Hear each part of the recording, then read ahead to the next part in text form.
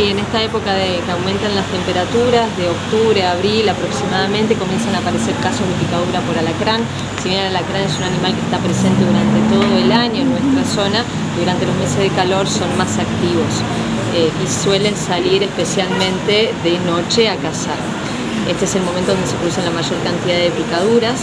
Eh, la mayoría son por andar descalzos, a veces dentro de la vivienda o en los alrededores de la vivienda y en la oscuridad no se ve el animal, se lo pisa y ahí se produce la picadura. ¿Hay varios tipos de alacranes aquí en esta zona? Tenemos dos tipos de alacranes, sí, el Botrurus bonarensis, que es el llamado alacrán bueno, y el Titus tribitatus, que es el llamado alacrán mano, que es el venenoso. Sí, tienen algunas diferencias, las más importantes son que el Titus tiene un cuerpo más alargado, con pinzas bien largas y finas, con tres bandas más oscuras en el torso y la característica principal que los diferencia es que el Titus tribitatus tiene lo que se llama un doble aguijón. ¿sí? El aguijón que se encuentra en la punta de la cola tiene por encima una especie de púa que sobresale. Esto es lo que fácilmente nos permite diferenciarlo, porque a veces algunos botrurus, si bien suelen tener las pinzas cortas, gruesas y ser de color oscuro, puede ser que sean más claros y que tengan las pinzas más alargadas, con lo cual no siempre es sencilla la diferenciación.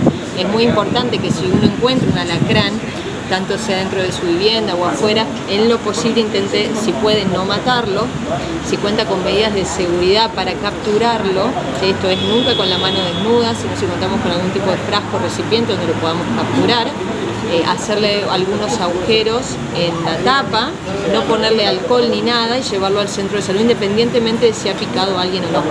Porque si se trata de un titus tribitatus y traen el alacrán con vida, nosotros lo, desde el hospital lo enviamos a Córdoba donde se fabrica el antiveneno que después se usa en el suero para las picaduras.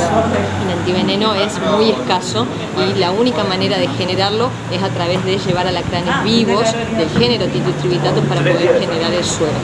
Bien, ¿y se ha conocido una situación o casos en Carlos Paz puntualmente en el hospital? Sí, como todos los años tenemos casos de alacranismo en nuestra ciudad, eh, es algo frecuente, es algo esperable por la época, no hemos tenido casos de gravedad, ¿sí? la gran mayoría de las picaduras han sido por Botulus bonarensis, con lo cual el paciente queda unas horas en observación, se lo hidrata y se le da la alta, ya que el Botulus eh, generalmente es muy raro que genere más que síntomas locales, pero sí en el caso del titius se debe tener mucha observación al paciente y darle el antiveneno porque puede presentar cuadros sistémicos severos. Bien, ¿y se los encuentra en zona de montaña o también puede ser en la zona del centro de Carlos Paz, por ejemplo? Se pueden encontrar, o sea, lo que es la zona de la montaña, ya por ser zona de montaña se pueden encontrar, y lo que es toda la zona de cloacas, viajan por las cloacas, ¿sí? El alimento favorito de la crana es la cucaracha, lo cual, si tiene cucarachas en el domicilio es importante que las erradique porque tiene, si tiene cucarachas y cloacas tiene altas chances de tener alacranes. Es muy importante controlar los resumideros dentro del domicilio, todo lo que son los del baño, los de la cocina, taparlos con mallas mosquiteras, poner mallas mosquiteras en las puertas y ventanas y burletes.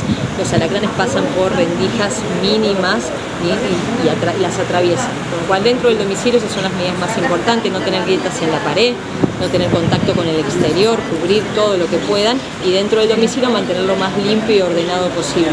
¿El hospital se encuentra preparado para este tipo de casos? Sí, el hospital es el único centro en Carlos Paz que cuenta con el antiveneno para alacranes, lo tenemos disponible en la guardia ante la picadura, independientemente de la especie de alacrán, deben concurrir a la guardia y si pueden traer el animal para poder diferenciarlo por los profesionales que están entrenados para diferenciar el tipo de alacrán, idealmente sería la mejor opción, especialmente pues si estamos ante un titius podemos enviarlo a Córdoba para que el antiveneno.